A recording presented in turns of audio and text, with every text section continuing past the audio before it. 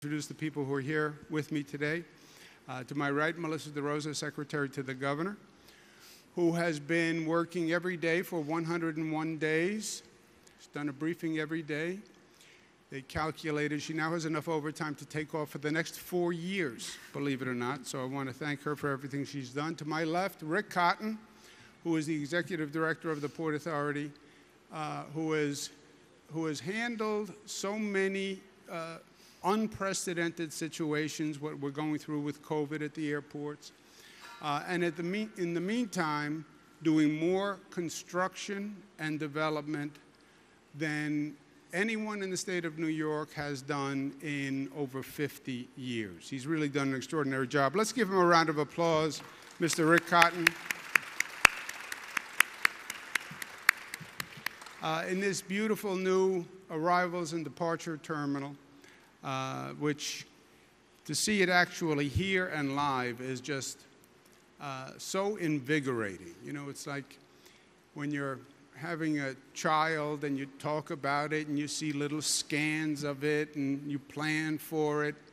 Uh, but then it's indescribable when it actually happens. And to see this uh, real and alive and all the drawings and the years of work come to life really is invigorating. And let's thank Richard Kennedy and Jane Garvey and George Casey and Magnus Erickson and Stewart Steeves, uh, the CEO of LaGuardia Gateway Partners. LaGuardia Gateway Partners, congratulations. You did a beautiful piece of work here. You should feel good. Let's give them a round of applause.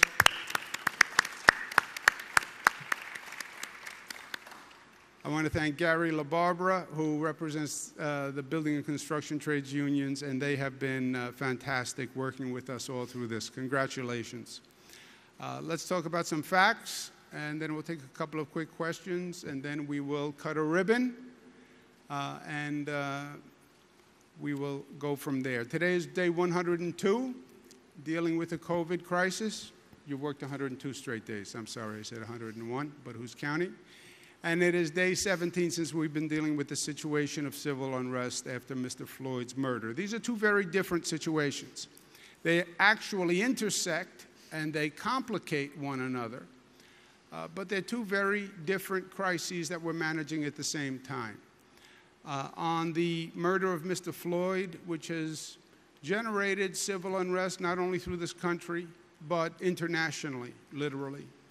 Uh, and I think that it's, it's going to turn out for the good.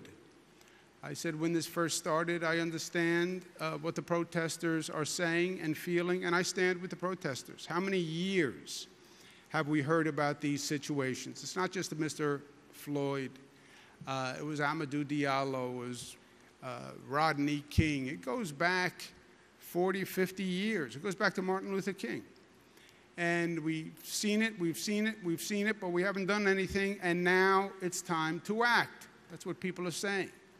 And they're right. And we're going to act in the state of New York, and we're going to act this week.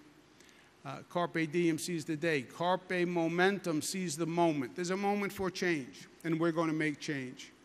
And we're going to pass legislation this week that I'm going to sign that is going to lead the nation in police reform releasing disciplinary records, what they call 50A, banning chokeholds, uh, which should have been done a long time ago, and that will be in the state law.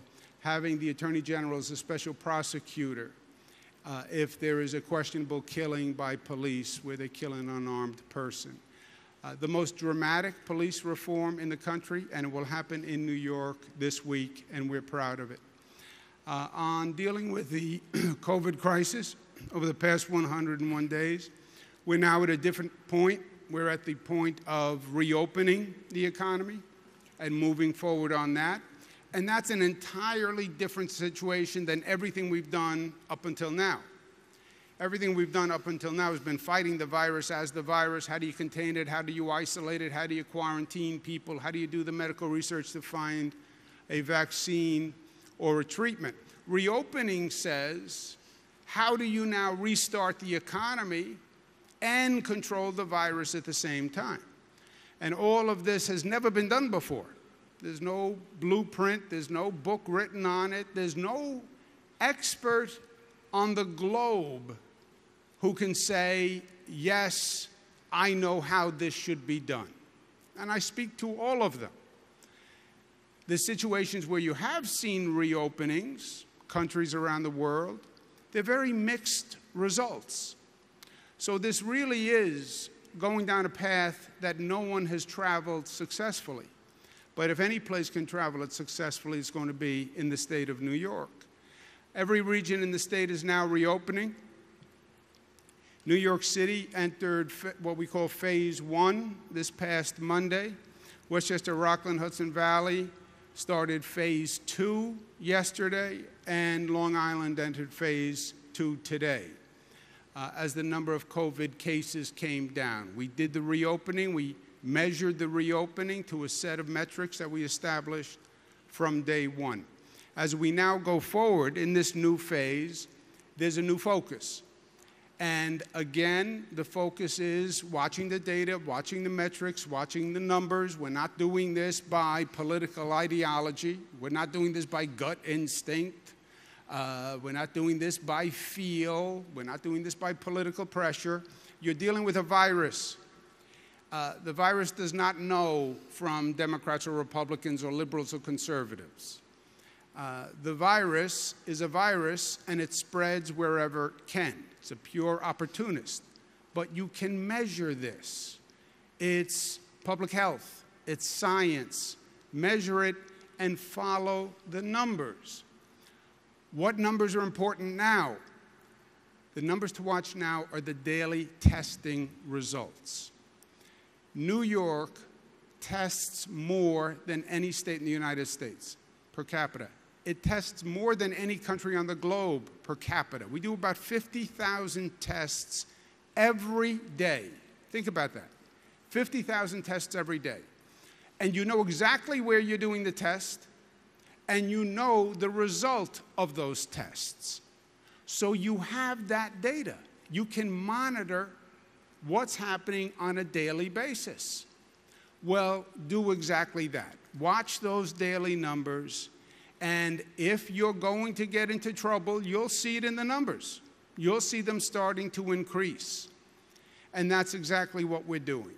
And we present them to every local official, we put them on the website. Every citizen should want to know what's happening in their community and their region.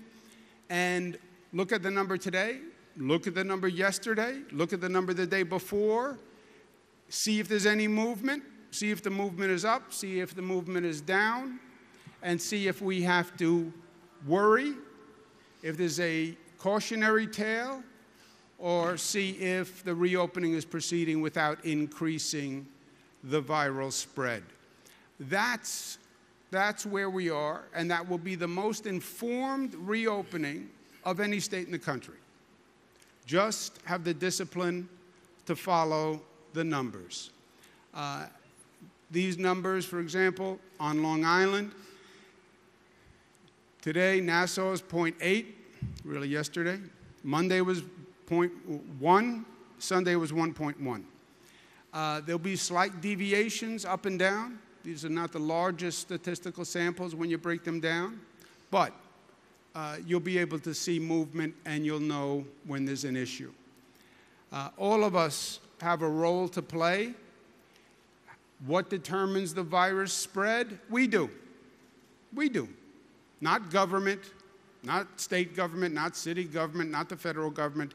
This has always been about what society does. It's been a social issue.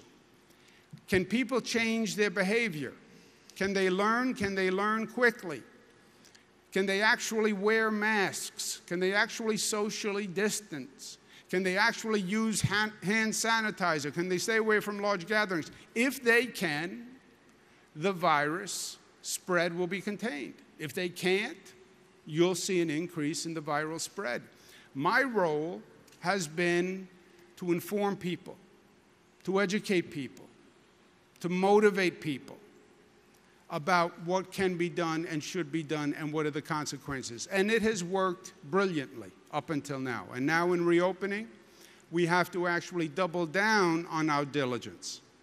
Business owners, employers that are reopening, like we see here today, provide the right equipment, have employees socially distanced, store owners have responsibility, employees themselves have responsibility, each one of us as an individual has responsibility, and the local governments have a responsibility to make sure their Department of Health is out and making sure things are working well. Uh, well, we're reopening, we're out of the woods, everything is fine. No. Reopening is actually much harder than closing. Closing was abrupt and disruptive, but it was simple. Everything is closed. Reopening is more delicate and more nuanced. And if you look at the states and the countries that have been reopening, more of them have gotten into trouble than not. And as we sit here today, states are getting into trouble. Newspapers will tell you more than a dozen states are now seeing increases. Texas, 36% increase since Memorial Day. Reopen, reopen, reopen. Be careful, be careful, be careful. California, the cases are still going up. Florida, the cases are going up. Look at those curves around the nation. Why? Because if you just reopen, if you just increase activity, the virus spread is going to go up compared to the virus spread when you were closed. That is common sense. Well, we want to reopen. Okay, but you have to reopen smartly and safely and intelligently. Otherwise, you will see the increase, especially in a place like New York City with that density. People on sidewalks, people on buses, people in subway cars. It has to be done right, and we have to stay disciplined. And the evidence is all around us what happens if we're not. Going forward, we need to do two things simultaneously. Number one, monitor the reopening, what we've just been talking about. Watch the numbers, be smart, be diligent. And second, let's energize the reopening. Let's uh, set the bar a little higher. Let's not just reopen, but let's have an affirmative strategy that re energizes the opening. How do you do that? Stimulate the economy. Now is the time to do large scale development projects. Now is the time you want to see government investing, the private sector investing in building large scale developments that you know can help drive economic growth. And you actually have an opportunity. Well, everything is closed down, there's less activity, there's less volume. Great, great on one level. If there's less activity, then we can actually build more aggressively because there's less disruption. It's what LaGuardia Partners and Port Authority was smart enough to do right here. Well, there's less traffic at the airport. That's a problem on one level, obviously. On another level, it's an advantage. There's less traffic, there's fewer cars. Well, now's the time to advance the roadway construction because there are fewer cars and there is less traffic. Because remember, what this reopening is about for us, many of the other states, they're just reopening. Our goal is not just to reopen. Our goal is to stimulate this economy, to take this moment of pause as a moment to pivot and stimulate and regrow better than before. After everything we've been through, my goal is not just to reopen, it's not to go back where we were the day before the pandemic. Life is never about going backwards, life is about going forwards. How do we learn? How do we grow? How do we take this moment? We were on pause, we reflected, we dealt with a crisis that we've ne- never dealt with before, and now we're stronger, and now we're smarter, and now we're better, and now we're going to come back more revitalized than ever before. Take these large scale developments, accelerate them. On Long Island, we're transforming Belmont. It's going to be a new Islanders arena, $2.7 billion in economic activity. Now is the time to double down. The MTA, there's less ridership. Ridership was down at 1.92%. That's bad for many reasons. It's also good for many reasons. Now is the time to accelerate the capital construction in the MTA because you can take trains out of service and you can disrupt fewer riders. So the MTA is accelerating $2 billion in capital construction. Fix the tracks now, fix the tunnels now, fix the platforms now. When the MTA, people get back on the subways and the commuter rail, they're going to be surprised. Those trains are cleaner than they have ever been in my lifetime. Those stations are cleaner than they have ever been in my lifetime.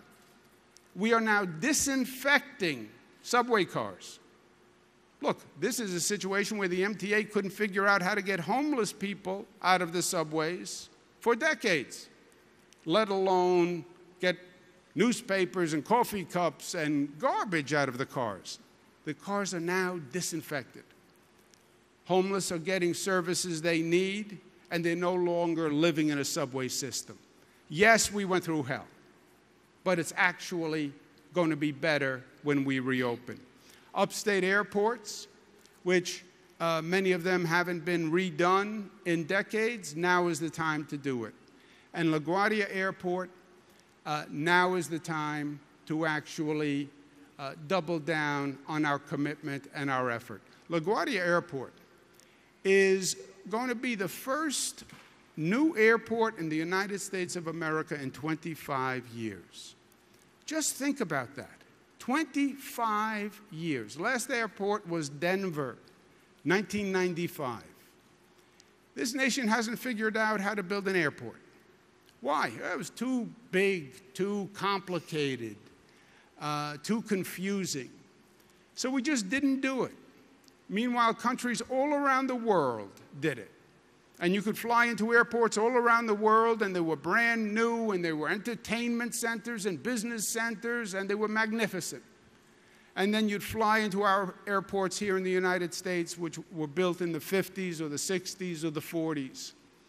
And it was just so apparent how other nations were outpacing us.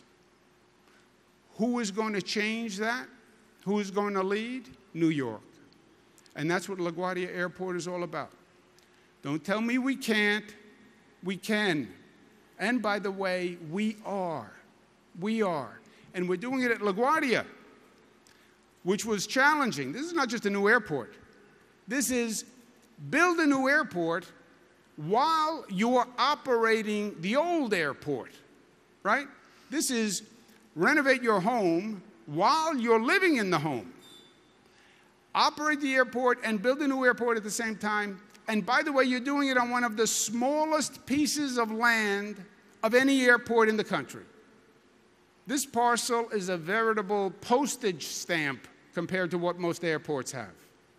On that postage stamp, operate the airport without undue encumbrances and build a new airport at the same time.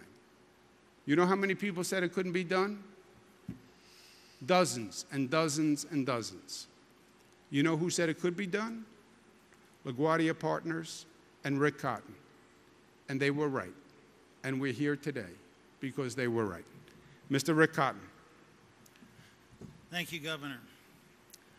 On the screen is where we are headed a single, integrated, brand new LaGuardia Airport. From worst airport in the country to the best. From appallingly substandard to 21st century best in class. From the laughing stock on Saturday Night Live skits to bringing into reality the extraordinary vision of Governor Cuomo to have a world class airport worthy of New York. That is what today is all about. I want to walk you through the highlights of this new arrivals and departures hall. Stunning, that will open on Saturday. But first, a few acknowledgments to the key individuals who made this possible. Huntley Lawrence, Director of Aviation at the Port Authority, Rich Smythe, the LaGuardia Project Director, and his colleague Jessica Force, Jim Starace, Chief Engineer, and his colleagues Saverio Leone and Carmela Sinicolo, Tony Vero, interim general manager of LaGuardia, and hundreds of their colleagues. To LaGuardia Gateway partners, my deepest thanks for their enormous efforts, including their investor, JLC Capital. To Skanska Walsh, who built this building, my, th- my deep thanks. Our airline partners, American, United, Southwest, and Air Canada, again, thank you for your help. And to the unions and the union construction workers and the skilled trades, men and women, who devoted six days a week, double shifts, they are the ones who built this airport and to whom we are enormously grateful, as well as to elected officials, including in particular Assemblyman Jeff Aubry and community leaders with whom we worked and consulted. Today we're announcing a truly major milestone in the construction. Governor Cuomo announced in 2015 his vision for a totally new 21st century integrated LaGuardia, one airport. Since then, the construction of the nation's first entirely new airport has progressed with great intensity. Four years ago, we broke ground on this terminal. Three years ago, we broke ground on Delta's eastern half of the airport. In the last 18 months, we've opened two of six brand new concourses with 25 new gates. A third of LaGuardia's passengers now, right now, today, come into a new gate and a new concourse. Today, we celebrate the opening of this new Arrivals and Departures Hall, the most significant milestone to date towards the realization of Governor Cuomo's vision. This spacious 840,000 square foot four story facility, paired with a new network of access roadways, will provide travelers with a 21st century airport experience, a far cry from Joe Biden's famous condemnation of the old LaGuardia as third world. And it wouldn't have been possible without Governor Cuomo's vision, his continued support, and his vigilant, and I might say intense, encouragement. The new spacious Terminal B is more than 50% bigger than the subpar legacy terminal it is replacing. The new LaGuardia has state of the art security. The terminal's size, enhanced cleaning routines, plentiful hand sanitizer dispensers, touchless entries, and a mandatory face covering requirement are examples of multiple measures we have taken and will take to keep passengers safe and healthy in our post COVID 19 new normal world. The new Terminal B arrivals and departures hall creates a fundamentally different travel experience. It will feature extensive new concessions, most of them iconic local concessions, more than doubling the offerings available in the old facility. The Public Art Fund, a renowned leader in the civic and public art world, curated an outstanding collection of four permanent public art installations by four leading artists. The Public Art Fund selections bring creativity, energy, buoyancy, and spirit to this new civic space. The ambitious, grand, groundbreaking scope and scale of LaGuardia's $8 billion redevelopment is being delivered through two innovative public private partnerships that harness private skill to deliver this extraordinary new airport. And two thirds of this project's financing comes from private sources. At LaGuardia, we are fully committed to a robust community development program. This project will generate more than 14,000 good paying jobs, both on and off the airport. Indeed, at various times, there have been more than 1,500 workers on this site at the same time. Thus far, the LaGuardia redevelopment program has awarded more than $1.4 billion in contracts to minority and women owned businesses and more than a half billion dollars in contracts to Queens based businesses. To ensure that residents in the communities surrounding LaGuardia have access to job recruitment and placement services, we established a LaGuardia Career Center in Corona, Queens, partnering with two community based organizations as well as the Council on Airport Opportunity. To date, more than half of the new hires for airport jobs have come from the community. Today's milestone is only, of course, part of the story.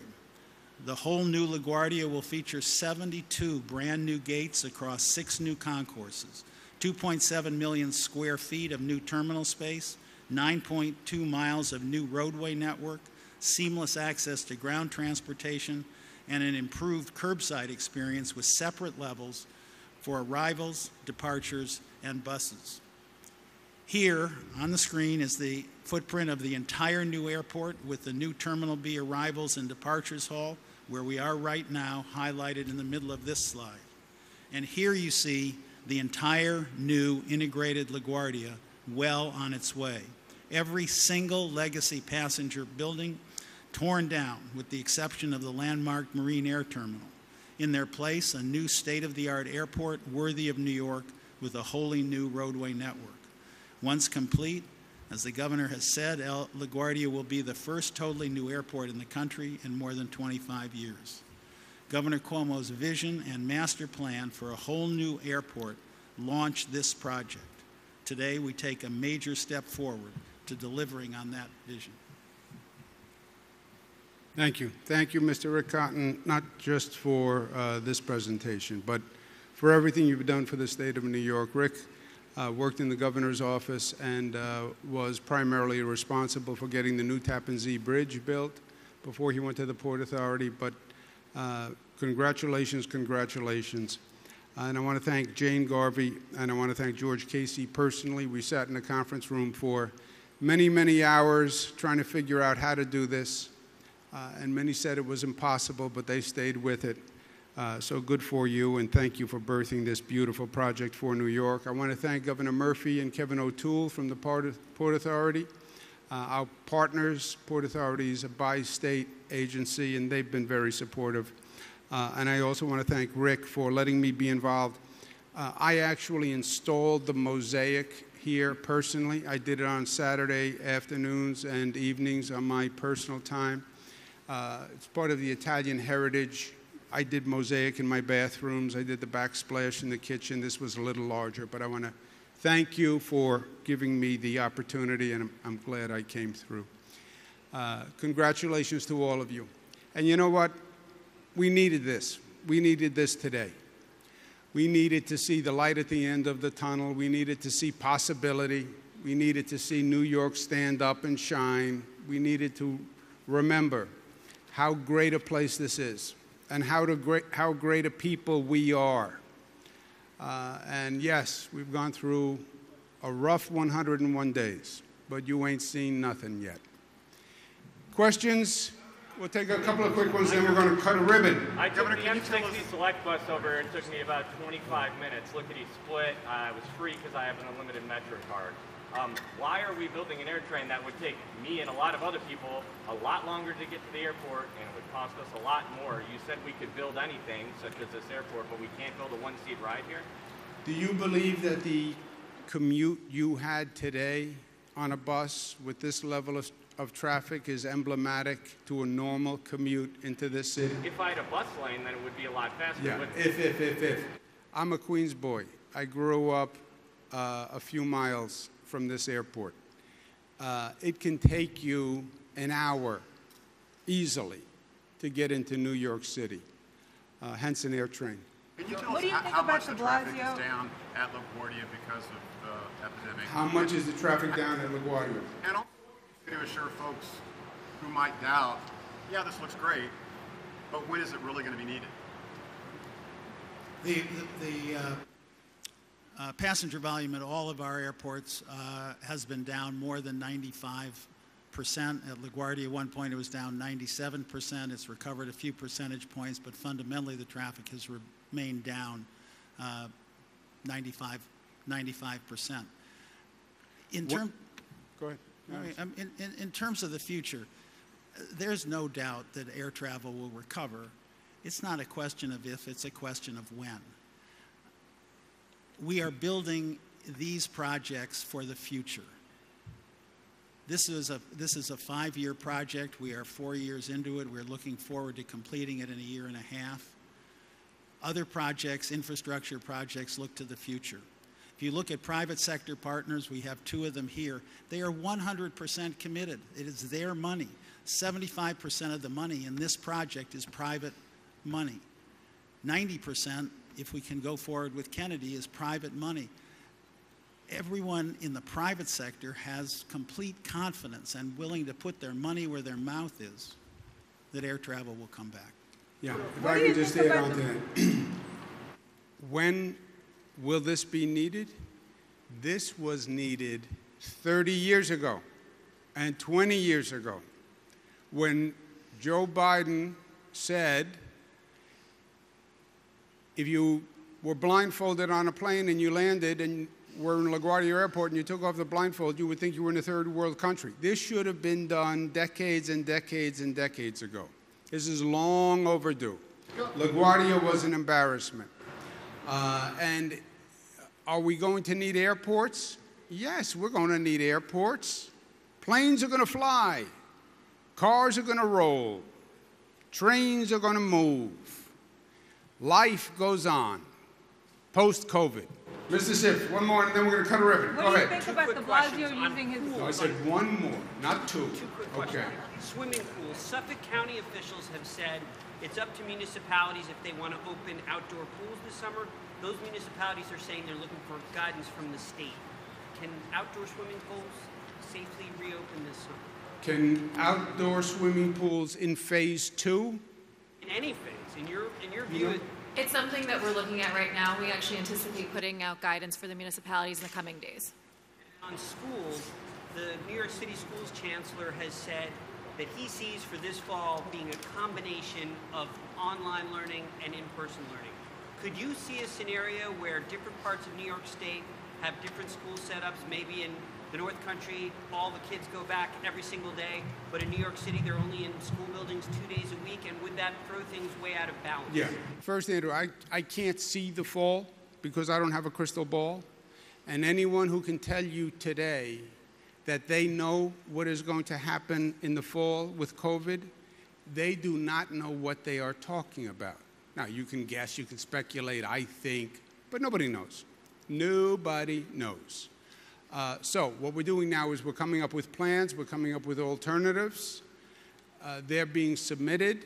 We're going to study them, but we have to get a better gauge of where we are with the COVID virus before we make any decisions. Can you have different models across the state? You have, you don't have uh, one model now, right? We're in different phases in different regions depending on the numbers in that region.